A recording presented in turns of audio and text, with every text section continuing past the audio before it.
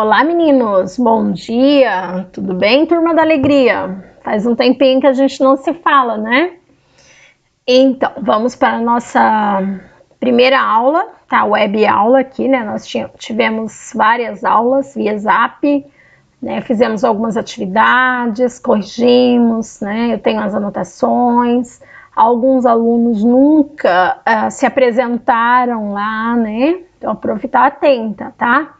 E nesse bimestre nós já tínhamos concluído essa nossa apostila, né? Essa parte da apostila que falava sobre a história da língua portuguesa. Lembram, né? Era língua e comunicação o tema, né, desse bimestre nosso. Então nós estudamos a origem das línguas, de onde elas surgiram, Estudamos também a história da língua portuguesa, né, dos celtas, dos romanos. Fizemos diversas atividades, tanto na apostila quanto no caderno. Nós já estávamos fazendo revisão, nos preparando para nossa avaliação mensal, né? E agora bimestral, correto?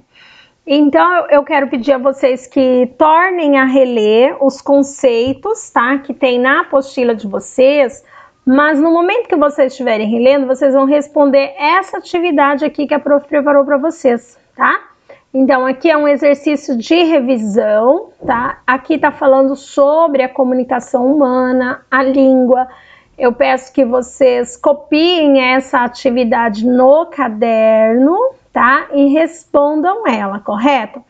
Aí a nossa próxima aula, a prof vai fazer a correção junto com vocês, tá bem?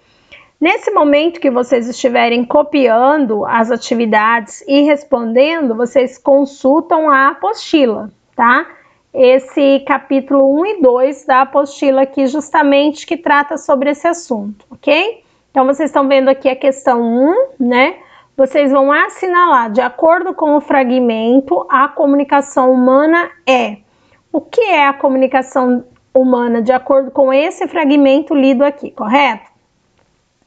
Temos aqui a atividade 2, né? Leia o texto, linguagem, né? Substantivo feminino, rúbrica linguística, qualquer meio sistemático de comunicar ideias ou sentimentos através de signos convencionais sonoros, gráficos e gestuais, né?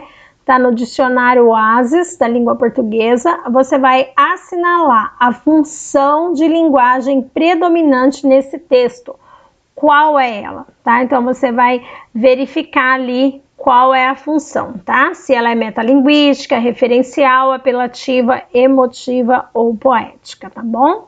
Isso é muito importante, tá? Vocês saberem diferenciar quais são essas funções, o significado de cada uma delas, correto? A número 3, a língua é uma forma de conhecer e de organizar os conteúdos que os indivíduos comunicam entre si né?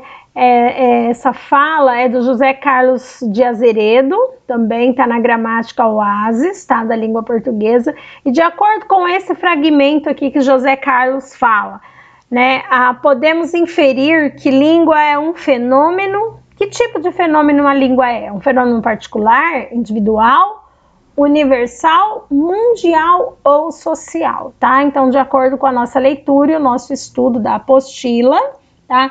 Lembre que é, esse conteúdo ele dá início lá no capítulo 1 da apostila, na página 4, tá bom? Então comecem a pesquisar a partir da página 4, certo? Voltar um pouquinho aqui.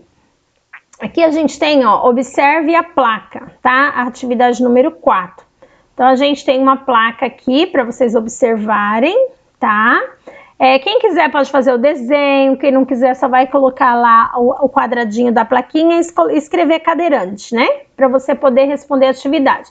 Lembrando que você vai copiar no caderno essas atividades, tá? Então, com base na observação dessa placa, você vai explicar a diferença entre significante e significado, tá ok? Número 5, temos aqui então a atividade número 5, vestidos para o verão, por um preço incrível. Compre online hoje mesmo, aproveite. Indique qual é a função de linguagem presente no texto, de acordo com o objetivo do seu produtor e do seu público-alvo, tá? Então, o que, que ele pretende aí? Qual é a função de linguagem que teve. Lembre que lá na questão 1 falou sobre as, as, funções de linguagem, né? Se eu não me engano, são cinco, certo? Então, voltem lá e revejam. Então, essa é a nossa aula de hoje, as atividades, tá? Que eu espero que vocês copiam, respondam. Né? Não vai ter dificuldade porque é um assunto que nós já trabalhamos, mas se surgir dúvida e dificuldade, vocês podem me procurar é, no WhatsApp, no grupo, tá? Ou mesmo no particular, tá bom?